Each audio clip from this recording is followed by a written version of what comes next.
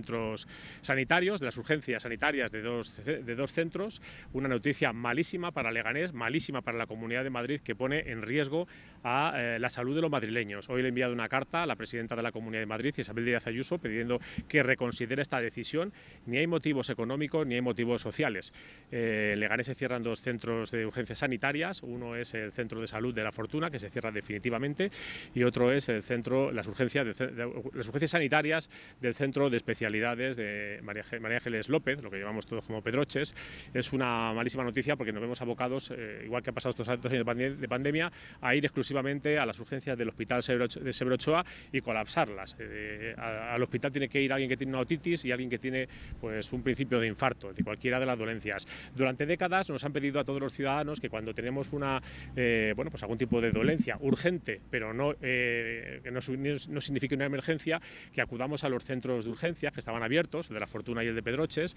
y ahora se cambia de modelo sanitario y todos debemos ir a, las urgencias del, hospital, bueno, pues un hospital que se ha quedado pequeño, un hospital que necesita más recursos, un hospital en el que pues todos sabemos que cuando uno va a urgencias está esperando horas y horas y por tanto ya digo que es una malísima, una malísima eh, noticia para la salud de los madrileños. Ni hay motivos económicos, ni hay motivos sanitarios, ni hay motivos de prestación de servicio. Si atendiéramos al número de casos, que es una de las cosas que se argumentan, que por visto hay pocos eh, leganenses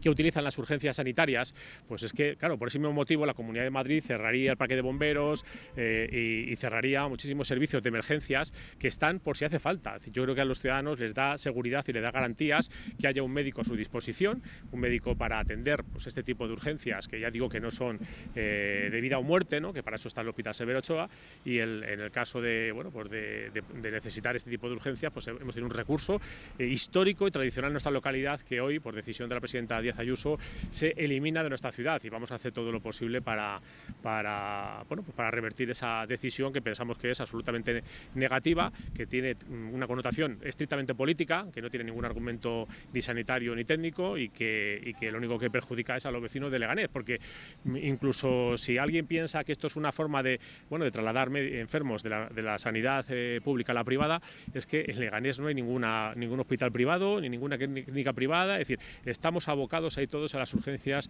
del Hospital Severo Ochoa, tenga uno, tenga uno eh, eh, sanidad privada o, tenga, utilice la sanidad pública y por tanto, bueno, pues una forma de colapsar todavía más el Hospital Severo Ochoa y perjudicar gravemente la salud de, los leganenses. Aparte de esa carta, ¿hay alguna movilización